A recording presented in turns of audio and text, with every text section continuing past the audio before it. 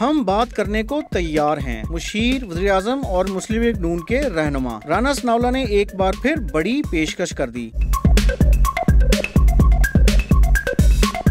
मुस्लिम league नून के रहनुमा राना सनाउल्ला कहते हैं कि सियासी जमात और हुकूमत के तौर पर हम पीटीआई से बात करने के लिए तैयार हैं। एक प्रोग्राम में गुफ्तगू करते हुए राना सनाउल्ला ने कहा कि इमरान खान सियासी जमातों के साथ बैठने को तैयार नहीं। ये कौन सी सियासत है? जब पीटीआई को मुसलत किया गया था, हमने उस वक्त भी साथ बैठने को कहा था। एक तरफ़ कहते हैं हमें कोई इख्तियार नहीं और दूसरी तरफ़ कहते हैं हमने मैंडेट चुराया। सानिया नौ मई के हवाले ऐसी सबक वजर दाखिला राना सनाउल्ला ने कहा की ये पता था कि पीटीआई एहतजाज करेगी। ये नहीं पता था कि हमले करेगी। हमले का पता होता तो इंतज़ाम कुछ और होता। हुकूमत समझती थी कि पीटीआई वाले वैसे ही एहतजाज करेंगे, जैसे सियासी लोग करते हैं। चौक पर आएँगे, नारे लगाएँगे तो इनको इंगेज करके उठा लेंगे। लेकिन उन्होंने जो कुछ किया, हुकूमत इसके लिए तैयार नहीं थी।